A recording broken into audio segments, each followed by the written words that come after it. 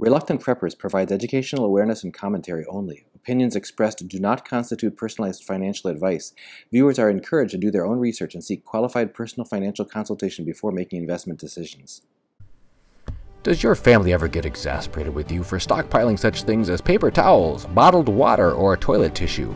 Well, they certainly can't object to you stockpiling money Silver, the only money recognized by the U.S. Constitution, and your first 10 ounce bar of pure silver can be had at spot price with no premium by going to sdbullion.com slash rp and when you buy it that way you'll be supporting reluctant preppers as well by going to sdbullion.com slash rp thanks. This is a quick update to thank you for building our number of patrons to 76 and growing on patreon.com slash reluctant preppers Soon, when we reach 100 active patrons, we're going to start sending out a one ounce US Silver Eagle each and every month to one active subscriber. So you don't want to miss out on that. Please help us grow by subscribing today at patreon.com slash reluctant preppers. As a responsible person with growing concerns for your privacy and personal liberty, you want to know where we're headed and what you can do about it. We ask the experts what you need to do to take prudent and responsible action to safeguard your family's wealth and well being, and what basic first steps will help you to be aware and prepared. ReluctantPreppers.com. Welcome back, Reluctant Preppers. We're delighted to have this returning guest. Lior Gantz is the founder of WealthResearchGroup.com. He is a full time investor for the past 18 years, an entrepreneur, and Wealth Research Group was named 2017's number one ranked free financial newsletter.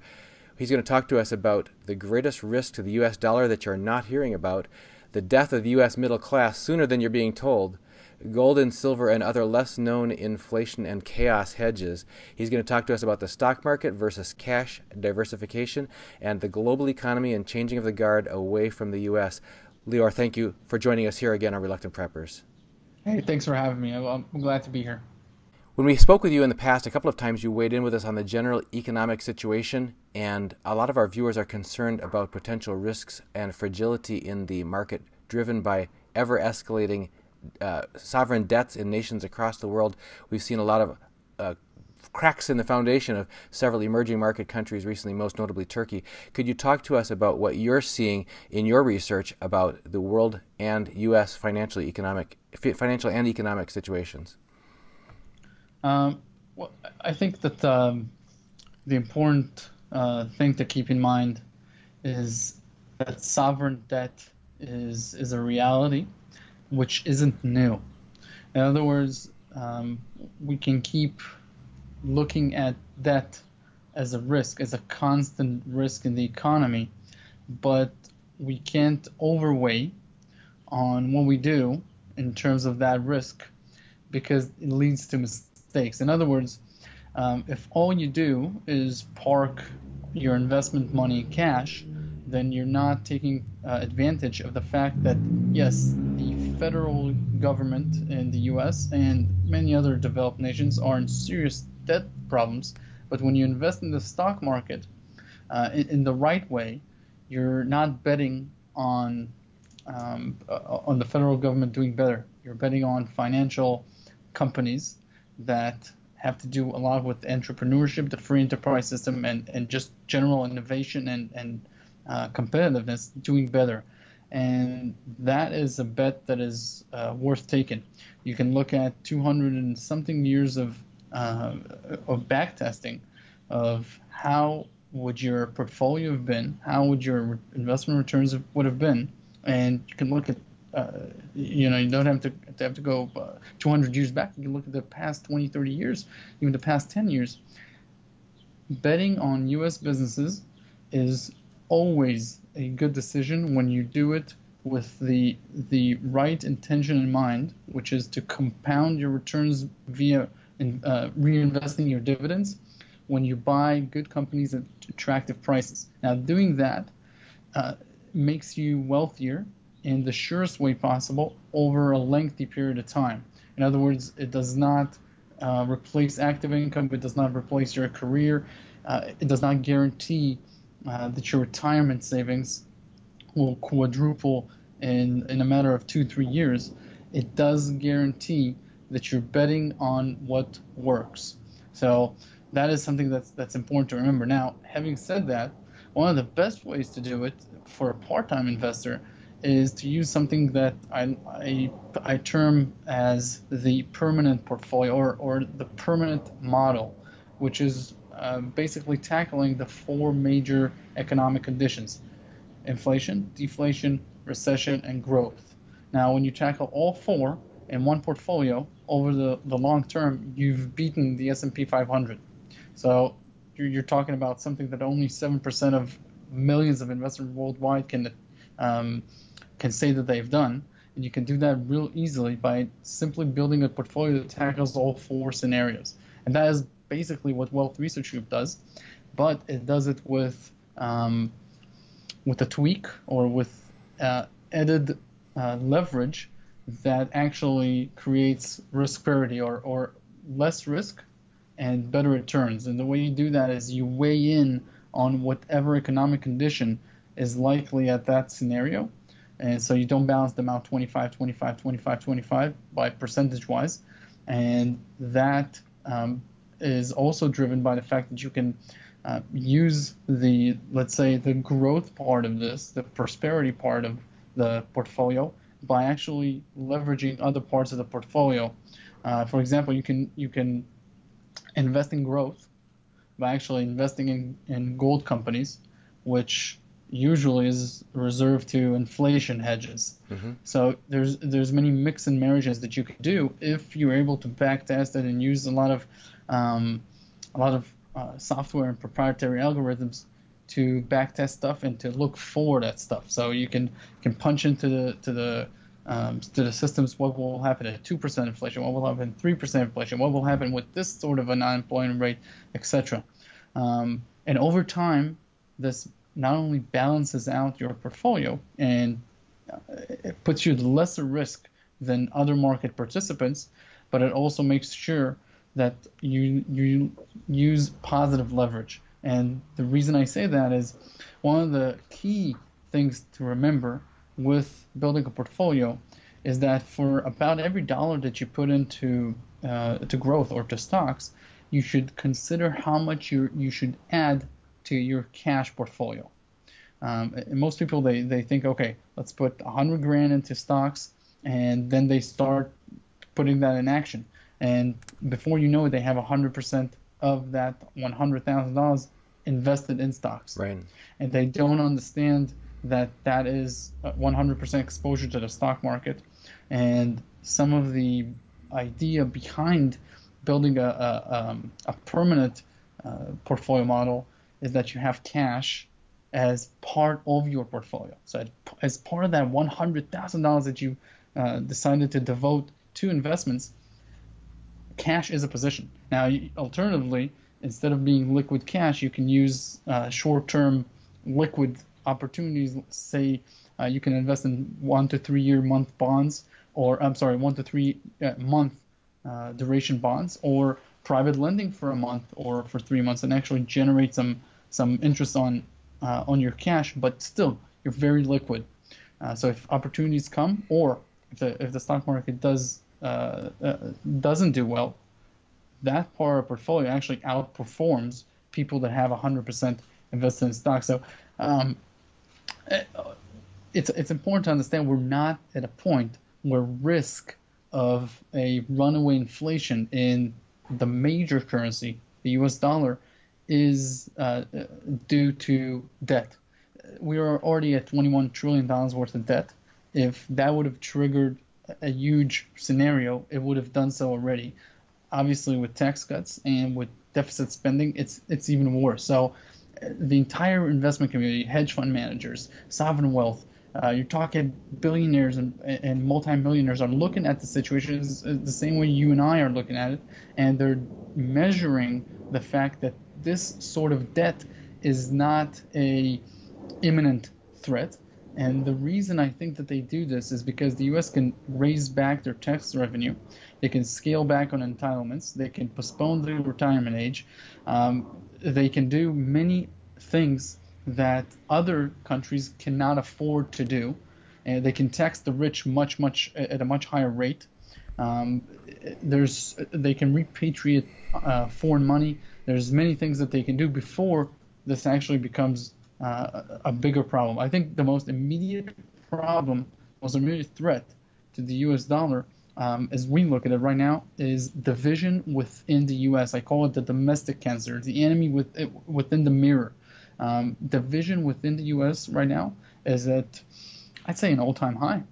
Uh, the, the, the difference between the rich and poor in this in the United States has never been this way. Um, Wealth Research Group sees that by 2022 there will be no um, viable middle class in the United States.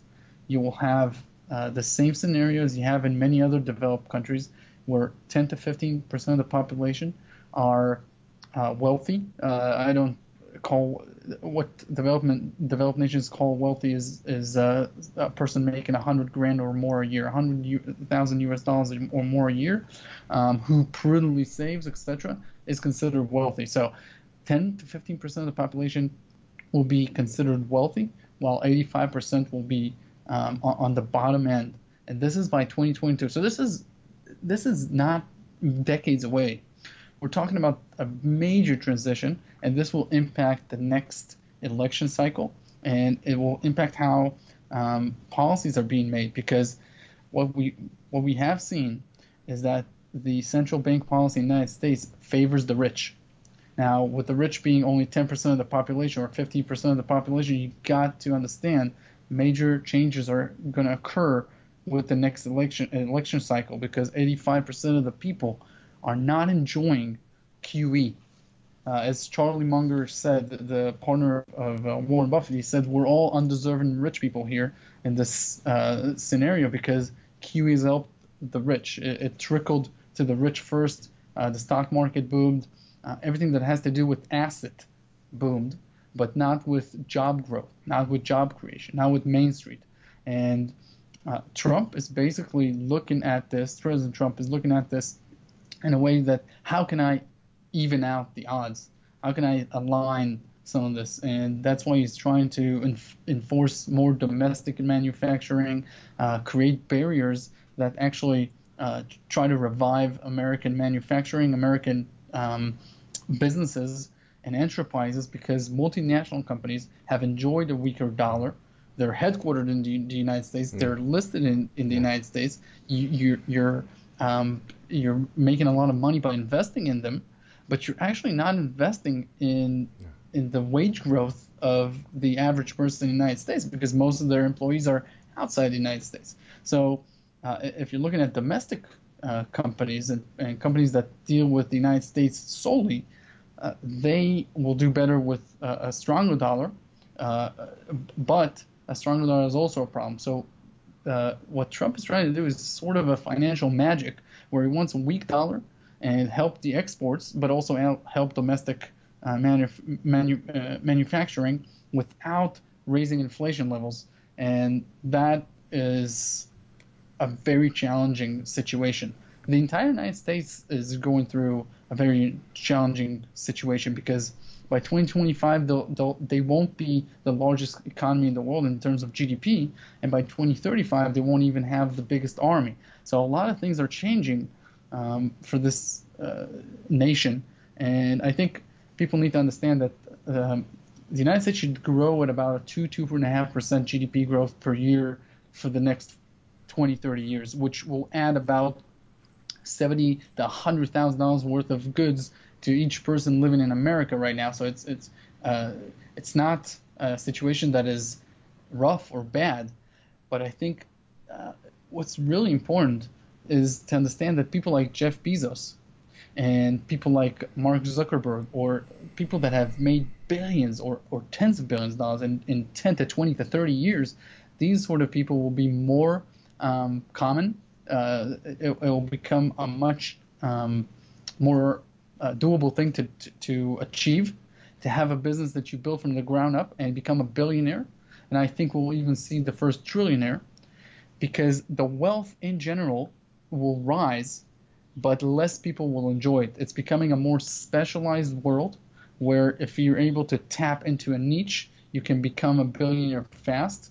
And the mundane um, workers, the people that have skills that can easy, easily be replaced either by automation, by um, whatever it is that, that can replace them, they will be displaced, and it it it costs a lot of money to retrain workers. So I think companies will be challenged with how to uh, retrain workers uh, uh even before they hit uh, 18. So I think companies will start to educate um, future workers much sooner. We'll see a different sort of educational system where you don't learn trivial information until the age of 18, where uh, your parents will make tough choices for you as to what sort of industries you're more skilled to do.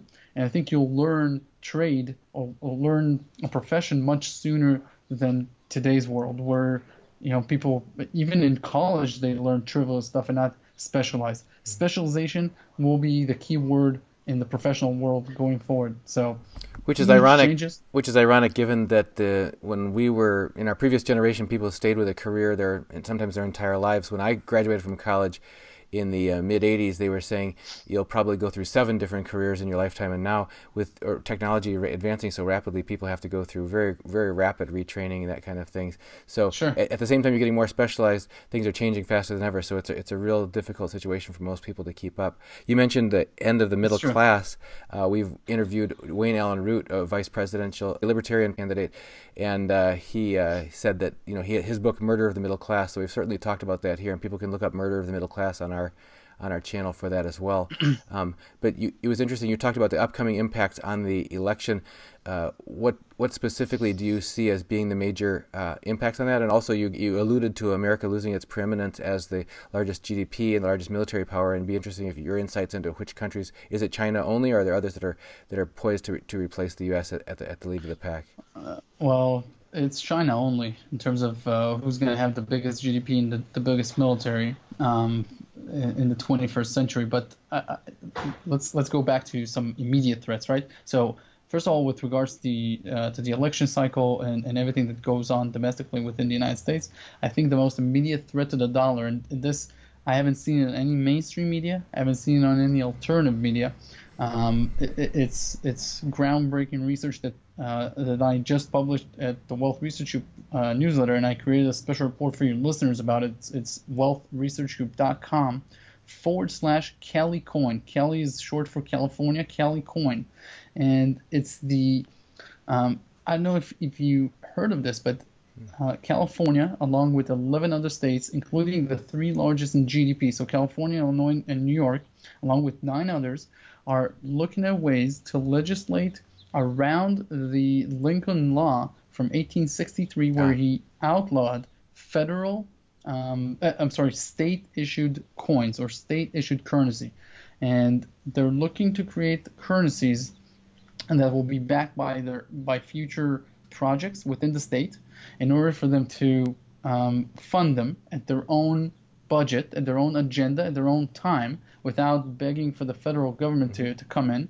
But obviously, uh, with this sort of scenario, um, uh, even looking at California, uh, they have the sixth largest GDP in the world. If they opt out of a dollar system, or if they move away from dollar system, there's going to be a lot of foreign countries that will be able to attack the U.S. dollar by uh, directly investing in a Cali coin or in a Colorado coin, etc. And basically, the, the United States will lose its uh, demand for dollars. So the U.S. dollar is not a domestic uh, currency anymore. It, it, used to be a domestic currency, but you cannot call the United States um, dollar a domestic currency where 50% of it is outside of the United States banking system. So if, if foreign holders are holding on to uh, half of the dollars in the world, at any given point they can liquidate their holdings, they can um, send money back to the United States banking system. Plus, when 60% of the world's currency is US dollars, while only 5% of the world's population is, is Americans, this is an international coin. Uh, you have to manage it as an international currency. It has much different ramifications. It's obviously why the, the debt, the United States uh, federal government debt, is much larger because they have um, interests that are global. you wouldn't need the biggest military in the world if you only protected the United States borders. You have uh, military in 200 countries. So, um, and entitlements, etc. Uh, you would need to create uh, a retirement scenario for 80 million people if you hadn't created a post World War II uh, middle class economy where it promised uh, retirement. So the fact that the United States avoided World War II is the reason that they uh, started mismanaging their currency anyways and allowed um, uh, uh you know allowed governments to create a world reserve currency, uh, currency around the dollar, which basically was an idea that bankrupt the treasury by 1971. So this is a huge problem. It's, it's an ongoing problem. It will need to be resolved at some point. And I think the most immediate threat to the dollar is the division within the United States. If the mainstream media will start reporting um, on this uh, uh, their own agenda, obviously because they're owned by corporate uh, structures that have their own billion dollar agendas. Um, if they start reporting about the fact that Trump is now op- openly and vocally, um, you know, wanting low interest rates and uh, is telling the the Fed, "Hey, I want low interest rates to protect our exporters," if they start reporting on the fact that the president is starting to intervene in Fed policy, this will open the door to a much larger public debate and it will increase the division within the United States regarding fiscal policy and monetary policy, which hasn't been an issue in the Obama years, and it, it can become an issue now if they start reporting on uh, the Cali coin and other uh, and, and 12 other states that are talking about issuing their own coin. This will further the um, the problem within the United States, and this is all heading into uh, the next election cycle, which obviously is, is not that far away. Uh, the campaigns will, will soon start, right? So uh, I think the Fed is going to need to manage expectations for themselves politically, and if they do any error or any um, any risky move with policy, say is raising two, um, making a 50 uh, right. basis point right. hike uh, rate hike, they will reserve that right towards the election. So they can say, hey, uh, Trump rushed us to do this, mm-hmm. or something of that nature. So, it, it, and on Trump, on the on the flip side, he's hedging his bets as well. He's telling, hey, I want low interest rates. So if that high interest rate slow down the economy too much and drive us into recession, he could say, hey, I told you so. Pick me again, and I'll fix this. So we're, we're going to see a lot of political debate, and I think the the world, people on the outside that are looking at this, governments on the outside, think think on on the outside, this is a great time for them to attack the dollar, and we're seeing that with um, yuan-backed oil contracts, with gold reserves going up for Russia and China, and um, many countries talking about opting out of the dollar system in some sort of way. I don't think it's realistic but the talk is there. You can't replace a system that controls 60% of the world's currency, but you can start talking about it and looking for solutions that are 10 to 15 years away. It doesn't. It, it, you can't create a coin like the euro. Uh, the euro has been in uh, in uh, planning mode since the 60s until it took place in the 90s. So th- these are not easy events to um, to change. Uh, uh, you can't change the world economy that easily. So um, I know crypto enthusiasts think that the Bitcoin is going to replace the dollar, maybe, but it's it's not realistic in the next 10 to 15 years. You just cannot do these changes that fast, per, uh, excluding a major crisis event that uh, basically quickens the need for for a solution when we had you on uh, some time ago, you talked about layering your financial fortress, and you certainly mentioned here the benefit of participating in the growth of a economy as long as you can.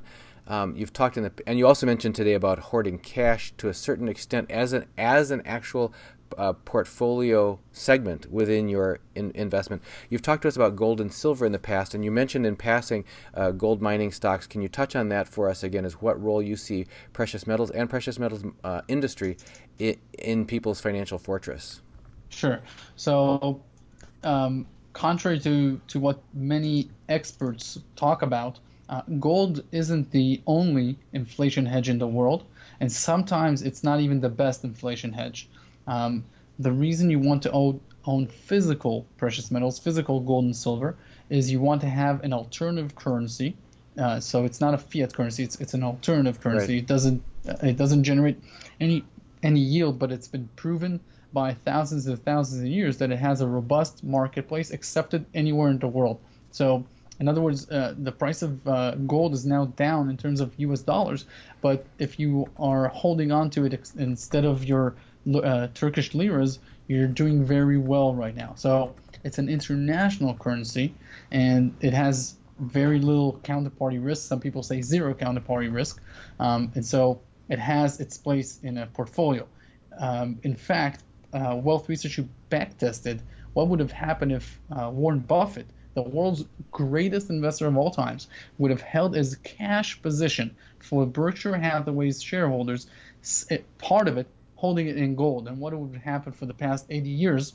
Eh, I'm sorry, for the past uh, 18 years uh, since the year 2000, since the bull market in gold uh, started, and they would have done absolutely much, much better. So there's there's a, a real reason to hold portfolio, uh, gold in your portfolio and part of it is because it's so uncorrelated with stocks. Stocks can go up and down, and gold can do whatever it wants. So that um, that um, uncorrelation creates diverse diversification, and it's mm. important. Um, so that's one thing. The the portfolio strategy that I have with physical gold and silver, I, I, have talked about this in many shows, is uh, I took my lifestyle burn rate, the, the monthly expenses of, of um, my family, and I converted them into gold, multiplied it by 24. So I have two years worth of 2018's um, lifestyle burn rate, and if I increase my lifestyle burn rate or decrease it, I change it appropriately. Uh, in fiat currency, uh, converted from fiat currency to gold and silver, 80% gold, 20% silver. Um, I have some of it allocated in vaults and depositories, some of it held in, uh, within distance of my main residence or inside my main residence, etc. Um, so that is that where that is where I use it as a chaos hedge. Now, in order to capitalize on international events such as uh, the Turkish lira demise or the Venezuelan demise or uh, other countries that can go into hyperinflation, you can add a position in physical precious metals if your intention is to capitalize on mispricings that happen. So if, if, if you think you can become an expert on Istanbul real estate market, it will be a great exposure for you to have more gold now because you'll be able to buy uh, a, a, condo or, or, or, an apartment in in prime location in Istanbul, which is a great touristic city, etc. Um, and obviously, with 18 million people, it's a very robust city. Um, and you can do that. If you don't have aspirations for an international um, exposure and, and uh, international investing strategy, then you can do that by betting on the weakness of the of the U.S. dollar, and that has been a great bet for uh, 47 years, even more, right? But especially in the last 47 years, where it's decoupled from gold. It started at 35 dollars an ounce. It's right now at about 1,200 dollars an ounce. It's it's been a great bet. So uh, that is if you want to capitalize on this further, and that is your own choice. You can do whatever you want, obviously with um, uh, how, how much allocation you want to have it.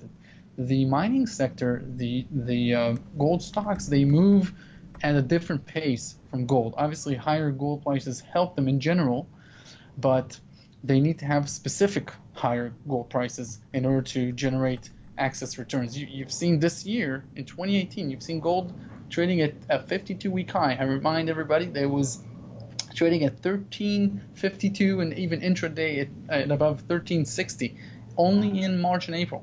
So that didn't move gold stocks uh, to a point where they, they rallied hard.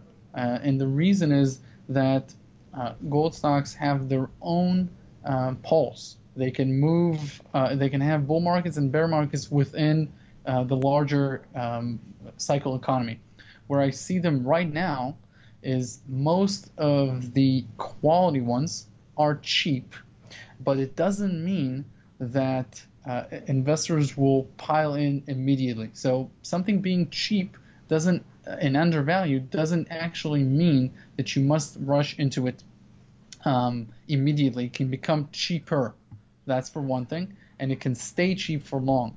So what we need to understand when we talk about the mining sector is that there is an opportunity to have some exposure in it, but it's definitely not a back up the truck uh, the truck moment.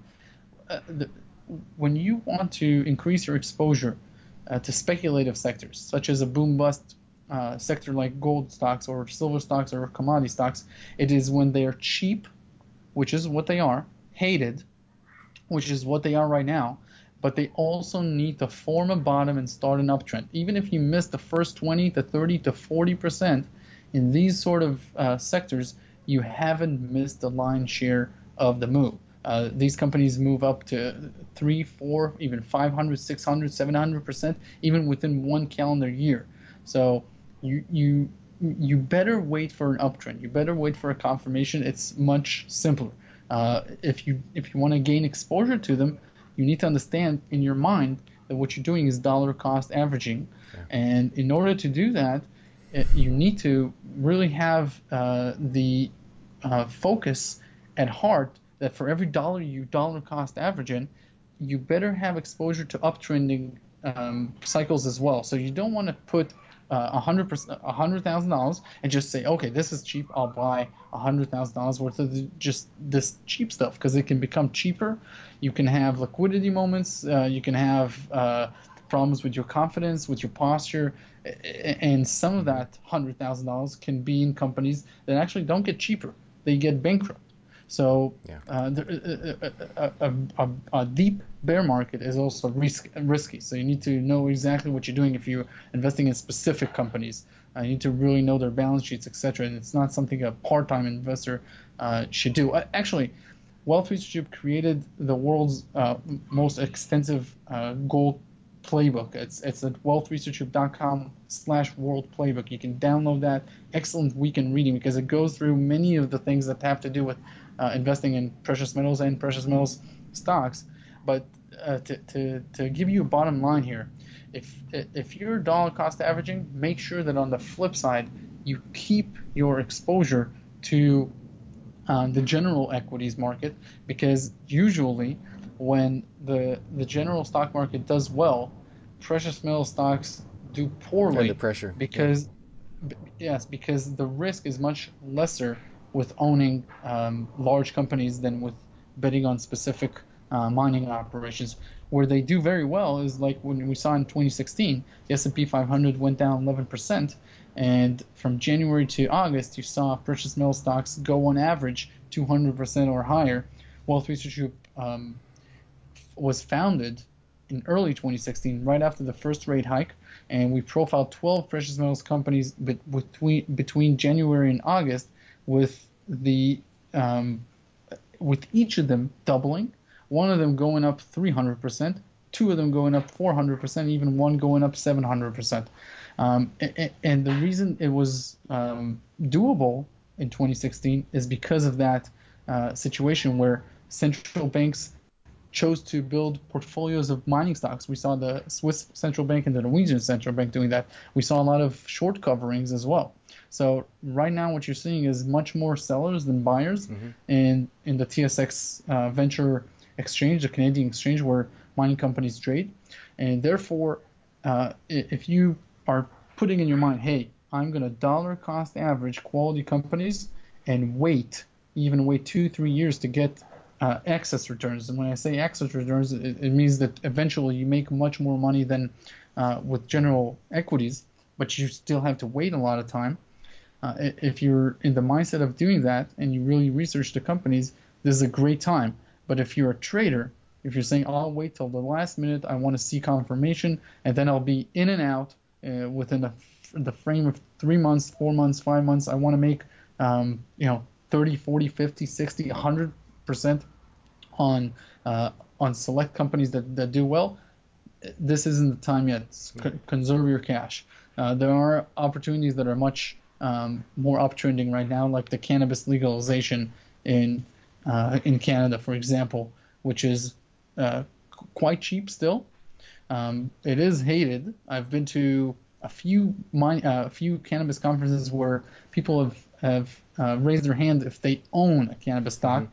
and in a cannabis enthusiast meeting, uh, about four out of every hundred people are owning stocks right now. Okay. So people are looking at this sector, but they're not investing in this sector.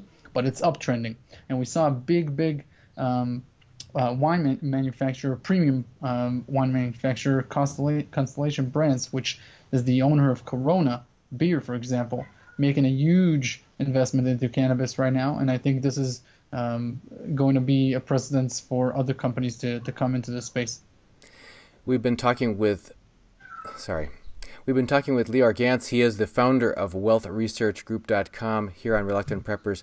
Lior, our time is short. Do you have one last uh, uh, connection for our audience to know how they can get more information on your research? Sure. The best way to do it is hit the homepage and um, subscribe on, on the main um, on the main sign-up form. It, uh, the reason that Wealth Research Group has remained a free financial newsletter is because it is done out of passion. Um, I'm a full-time investor for 18 years, and about three years ago, uh, the idea started to sink in my mind that instead of uh, managing money for uh, a boutique uh, firm for a few clients, well-to-do clients, I want to reach a broader audience because I think there's a, I would even say it's it's a, it's a it's a virus in our economy in our in our Western world. The way that economic uh, and financial education is passed through the generations. Most people at 18 don't even know how to write a check, how to open a bank account, mm-hmm. what is interest. Uh, they don't have any idea uh, what it what it means to compound wealth. Um, and the reason it's being done, in my opinion, is by definition, by design. Uh, information has always been withheld for thousands of years in our civilization, and right now, with a lot of good information at your fingertips, all you need to do is really get inspired to get educated. And I think that is the main purpose of Wealth Research to inspire people to understand that wealth is within reach if they do certain steps and take the effort.